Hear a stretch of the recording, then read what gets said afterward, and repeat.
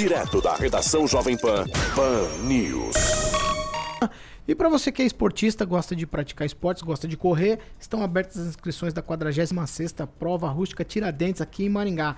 As inscrições foram abertas ontem. A prova acontece no dia 19 de abril, a partir das 8 da manhã.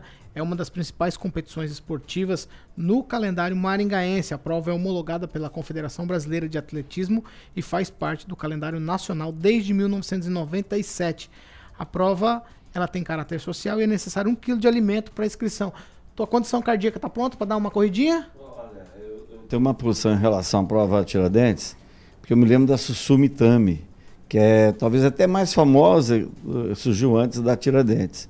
E não, eu não sei o que, que, é que acontece, não sei se é minha ausência da, da corrida, mas é que a, a Tiradentes, ela, te, ela, até que foi criada pelo Major Lauri, Capitão, Capitão a, minha, a minha geração conhece muito mais a Tiradentes. Exato. Eu acho que Maringá deveria ter, ter teria que fazer bombar a, a prova de Tiradentes em nível de repercussão nacional que era uma prova entre os corredores, era uma das principais. É charmosa, mas a né? mídia, mas a mídia não dá a importância, não dá a devida importância que tem a mídia nacional. Eles privilegiam lá uma maratona de Belo Horizonte, uma, eu assim, é, Maringá tinha que cultivar mais as suas a, a, as suas coisas próprias, as coisas. E a prova de Tiradentes é uma das coisas mais maringaenses que existem. Ô, Ângelo, mas se o maringaense é, tomasse pé da situação, e resolvesse participar pela alegria, pela diversão e lotasse essa prova, ela vira mídia nacional espontaneamente. Com certeza, acho que a, a parte está aí.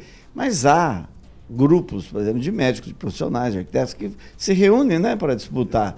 Essa é a parte boa da, da prova é, Tiradentes. Mas eu gostaria realmente, a, a, só, e registrando, o lance de você não cobrar para participar é uma coisa interessante. Você estimula os bairros, os grupos de pessoas a disputar. É, mas, ó, eu, eu tenho saudade mesmo da Sussu Mitani. Eu, eu só conheço por você falar. Tá afim, Luiz Neto, de fazer uma. Só fazendo um. Um, um, um sorzinho? Comentáriozinho.